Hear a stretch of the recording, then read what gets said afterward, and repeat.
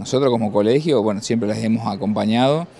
y igual que con los ingenieros agrónomos que estuvo recién Daniel Cabalín hablando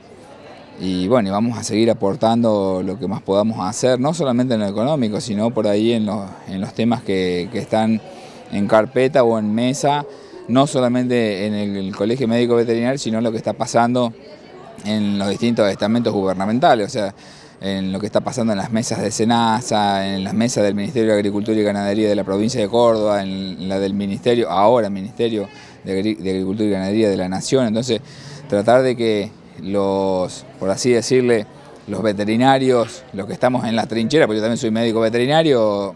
y, trabajo en un laboratorio, eh, eh, tengan siempre de antemano cuál es la problemática o en qué se tienen que capacitar eh, para, el futuro. Jornadas que han ido creciendo, que cada vez son más importantes, con muy buena participación de los graduados justamente. No, sí, o sea, aparte no nos olvidemos que, como lo decía Sergio, o sea, esta es una de las es la única universidad que tiene tanto la Facultad de Agronomía y Veterinaria juntas, entonces es una facultad que, lo que te digo, el éxito de, lo que se decida emprender lo, tiene garantizado. Pero bueno, o sea, eh,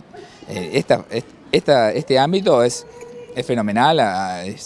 a, los veterinarios, bueno, conmigo me está acompañando Gastón Chipola, que fue uno de los artífices de esta jornada junto a Adriana Alcoba, está acompañándome. Yo en este momento estoy como presidente, Gastón está como, como vocal, está Laura Reboires, también profesional de acá de Río Cuarto, también está como, como vocal. Así que digamos que el nexo que tenemos con la Universidad de, Río Cuarto eh, es un nexo casi continuo.